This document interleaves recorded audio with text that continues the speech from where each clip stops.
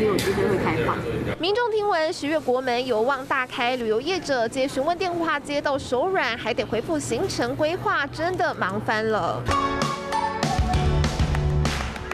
不管是到当地神社参观，还是趁着秋天来场赏枫之旅，日本旅游近期询问度超高。以八月整体机票销量来看，泰国、韩国和日本拿下了前三名。旅游业者分析，因为泰国防疫政策松绑，东南亚旅行成长多达百分之五十。东北亚民众也爱去，欧洲则因为防疫签证规定松绑，成为国人长天数的出游首选。那泰国它也从八月一号以后也是开放了观光签证，还有日本现在不是这。两天也说十月份开始开放自由行，所以大家都是蠢蠢欲动。更有平台观察到，随着各国开放观光旅游，今年三月开始机票搜寻量就大幅增加，五月更超过高铁车票。到了今年七月，机票交易量已经比去年同期成长五倍左右，代表民众都开始规划出国旅游，未来可能出现抱团潮，就查政策开放的那一天到来。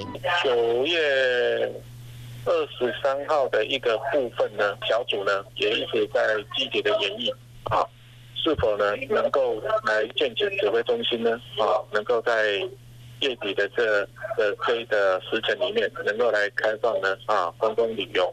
旅游业者自立自强，超前部署，提前布局，规划出国旅游行程，殷切期盼边境尽早开放。华视新闻徐杰方立婷潘建任台北采访报道。